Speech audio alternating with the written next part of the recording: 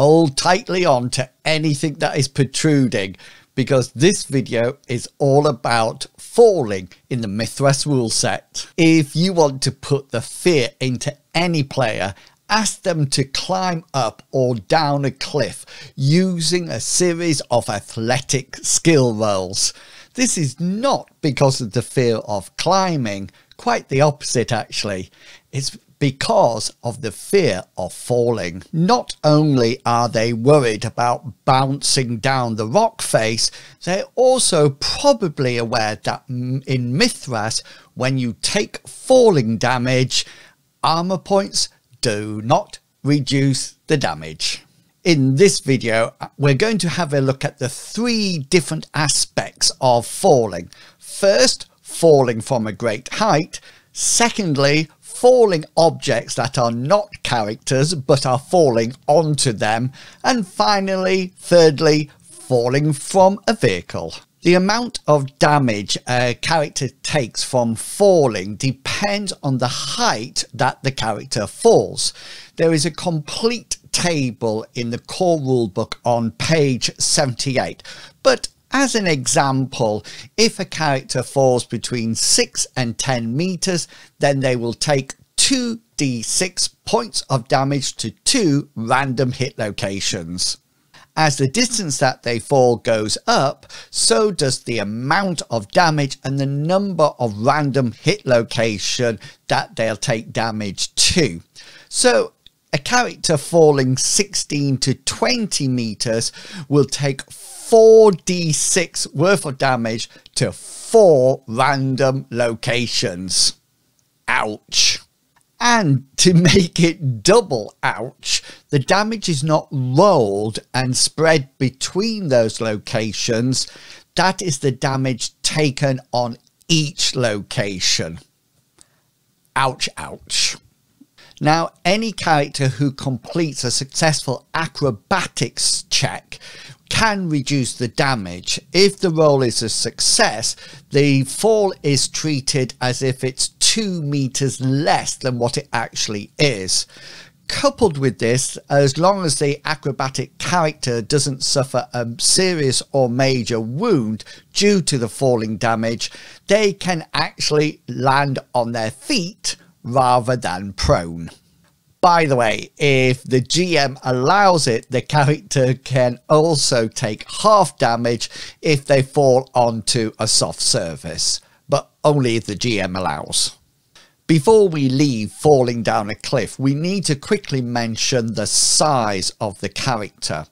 Characters or creatures whose size is less than 9 take less damage, with the total distance therefore being reduced for the damage purposes. There's a complete list for this on page 78. In a similar way, creatures larger than size 20 suffer more damage.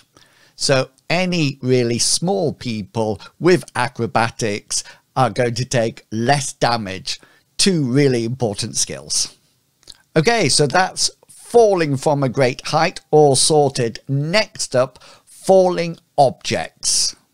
An object will impart damage based on its size and the distance it falls. For each six points of size or fraction thereof, the object will cause 1d6 points of damage. In addition to this damage, it will also inflict damage from the distance that it's fallen. This is taken from that same table on page 78. And finally, being thrown from a vehicle or diving from a chariot or something like that. So when trying to calculate the amount of damage a character will suffer getting thrown for a vehicle, you need to be slightly creative and mathematical. So the first thing is that you need to determine the speed of the moving vehicle. You then compare that speed to the falling damage using the distance fallen table on the core rulebook of 78. But as well as that table being used, you actually half the damage that it says is going to take place. So, for example, if it says it will do 4d6 worth of damage, then being thrown from a vehicle at that speed will only take 2d6 worth of damage. I hope this gives you some ideas for your campaign. Covered pits are always a favourite of mine in Dungeon, but you can also have bear pits or just deep chasms across your countryside. Coupled with that, you can have giants throwing huge boulders or even small goblins, or you can fling the characters out of a wagon as it is being chased round the streets of your favourite town. Just be creative and surprise your players with those, that falling damage. If you found this or any of my videos on my channel helpful or even entertaining, then please consider liking, commenting and subscribing. And if you would like to provide further support, then please consider using the super thanks button to donate money or consider to becoming a supporter of the channel, which gives you early access to videos and an exclusive monthly video where I discuss my ideas and tasks for the future. Oh, and there's also my Ko-fi page, which is the one-stop place for all RPG content. That also has a donation button. Sorry, I won't mention it again. Until next time, I hope all your posed rolls are successful and you manage to survive the fall down that chasm. Thanks for watching, everyone. See ya. Bye.